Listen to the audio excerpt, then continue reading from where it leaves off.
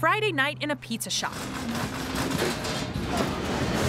Pie dough is flying, ovens are burning, and the phones are ringing. Okay, what can I get for you? There's um, uh, healthy competitiveness that kind of goes on, but we're all different. We're all different types and styles of pizza. While Grinelli's Pizza in Castle Rock is buzzing, a few miles away, we're both mom and pop shops just kind of trying to get by with all this stuff. Things are quiet at 212 Pizza Company. We had one positive case of COVID.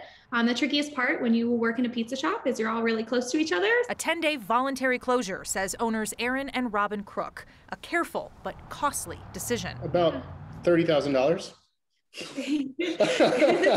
Costs, including all that food they already ordered. So it was like, okay, so who in Castle Rock has food similar to ours? And it was like, you know what? Our competitor does. Let's just support them. 212 donated some of their food to Grinelli's, and Grinelli's wanted to return the kindness. Anybody that comes down uh, to Grinelli's today and tomorrow, we're doing 25% uh, of the proceeds go back to helping 212 while they're closed. No matter if she's a pizzeria, um, it doesn't matter. It's a sense of community here in Castle Rock. We are completely humbled and amazed by their generosity. So um, they're just they're just wonderful people. People who know pizza. And no, community matters more than a little competition. Castle Rock's a very close-knit community here. Uh, we always help one another, no matter what. Jennifer Meckles, 9 News.